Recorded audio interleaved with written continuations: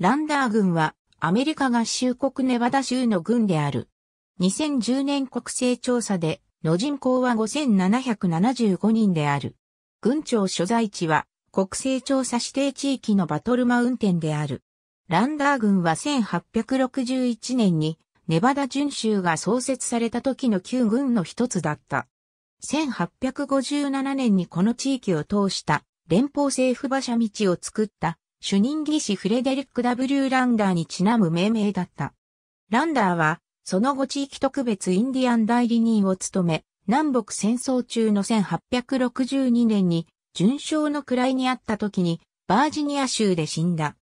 1861年に設立された頃、ポニーエクスプレスの経路沿いリース川付近での鉱山ブームで成長し、現在のチャーチル軍とハンボルト軍のかなりの部分も取り込んでいた。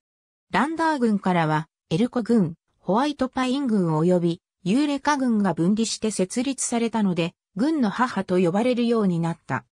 最初の軍庁所在地は、ジェイコブスビルであり、1863年にオースティンに、最終的に1979年にバトルマウンテンに移された。